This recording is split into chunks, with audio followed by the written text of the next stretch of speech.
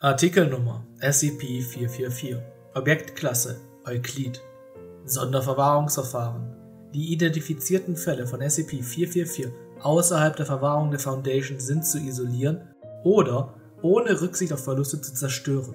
Die Exemplare von SCP-444 in Besitz der Foundation sind unter Einhaltung der Typ A Gefahrendokumentationsprotokolle zu verwahren. Übersetzer dürfen nicht mehr als 12 Stunden pro Woche Zugang zu SCP-444 haben und müssen sich wöchentlichen linguistischen und psychologischen Untersuchungen unterziehen.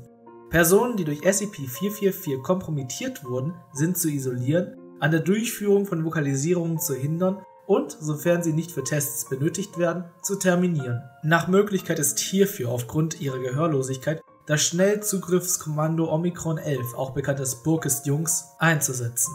Beschreibung: Bei SCP-444 handelt es sich um ein sprachlich übermitteltes mimetisches Virus. SCP-444 hat die Form einer funktionierenden und kohärenten, wenn auch begrenzten Sprache. Personen, die SCP-444 ausgesetzt waren, nehmen es auf und verlieren dabei ihre Fähigkeit, andere Sprachen zu sprechen oder zu lernen, obwohl sie in der Regel ihre Fähigkeit behalten, zuvor verstandene Sprachen weiterhin zu verstehen. Schriftliche Varianten von SCP-444 erfordern einen längeren Kontakt, während die verbale Exposition bereits nach wenigen Sätzen Wirkung zeigt. Der Mechanismus hinter dieser Änderung ist gegenwärtig unbekannt. Die Schriftform von SCP-444 besitzt ein einzigartiges Alphabet, bestehend aus geometrischen Formen, die in einem Strahlenkranzmuster aus dem Zentrum heraus gelesen werden.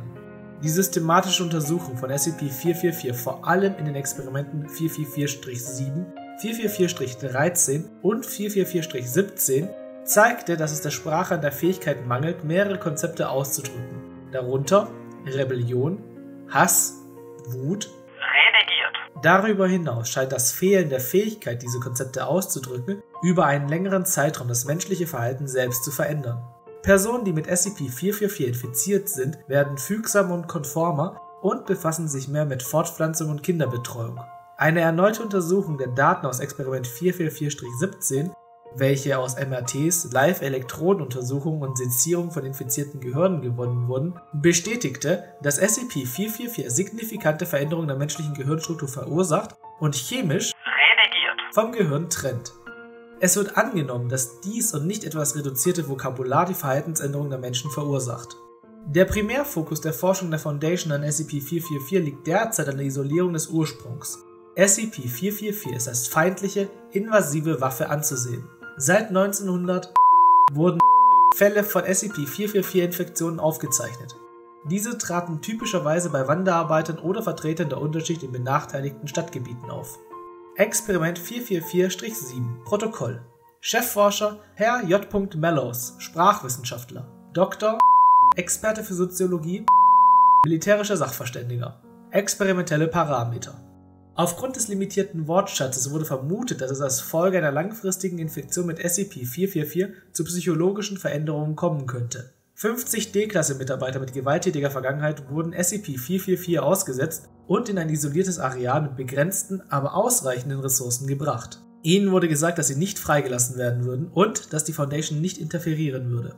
Weiterhin gab es eine Kontrollgruppe bestehend aus 50 nicht infizierten D-Klasse-Mitarbeitern. Die monatliche Terminierung wurde für beide Gruppen ausgesetzt. Datum 1900 Kontrollgruppe. Gruppe in das Kontrollareal gebracht. Am Ende der zweiten Woche liegt die Anzahl bei 42. Testgruppe. Gruppe in das Testareal gebracht. Am Ende der zweiten Woche liegt die Anzahl bei 47. Datum 1900 Kontrollgruppe. Es hat sich eine breit angelegte Gewalt- und Bandenkultur entwickelt. Bis zum Ende des ersten Monats sinkt die Zahl der Personen auf 26, von denen mehrere an Unterernährung leiden. Testgruppe.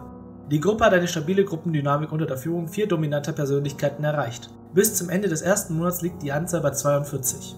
Datum 1900. Kontrollgruppe. Die Gewalt hat sich deutlich verschärft. Am Ende des sechsten Monats liegt die Anzahl bei 7. Die Gruppe wurde aufgrund von mangelnder Überlebensfähigkeit terminiert. Testgruppe. Die Gruppenautorität hat sich aufgelöst. Die Gruppe funktioniert als ideale anarchische Gemeinschaft. Bis zum Ende des ersten Monats liegt die Anzahl bei 42 Personen mit mehreren Schwangerschaften. Datum 1900. Kontrollgruppe terminiert. Testgruppe ein Jahr nach Beginn des Experiments liegt die Population bei 52. Es wurde ein zusätzlicher D-Klasse-Mitarbeiter in das Testareal gebracht, der nicht dem SCP ausgesetzt war. Die Gruppe akzeptiert das neue Mitglied schnell als Anführer und wehrt sich nicht gegen eine Unterwerfung. Die Gruppe wurde terminiert und die Kinder inhaftiert, um die Entwicklung in Säuglingen zu studieren. Dat 1900 Säuglingsgruppe. Fortschreitende Entwicklung bestätigt. Gruppe terminiert. Notizen. Die Möglichkeiten einer Heilung werden derzeit noch untersucht. Das Verhalten von SCP-444-Infizierten wäre für D-Klasse-Personal vorteilhaft, wenn eine Ausbreitung eingedämmt werden könnte. Wert von SCP-444 als potenzielles Invasionswerkzeug bestätigt.